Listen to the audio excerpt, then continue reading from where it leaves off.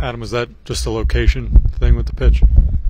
Yeah, I mean, I, I, I, shook, I shook the, I shook the pitch Tomas wanted, and I threw that instead. Obviously, it was a bad choice as well, but uh, the location it could have been a little more up or a little more in. Um, yeah, so a little bit of both.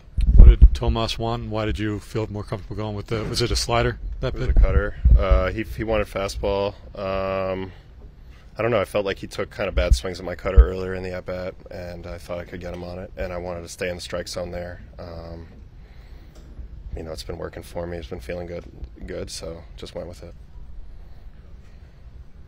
As far as getting swept, is it too early in the season to be frustrated about a sweep?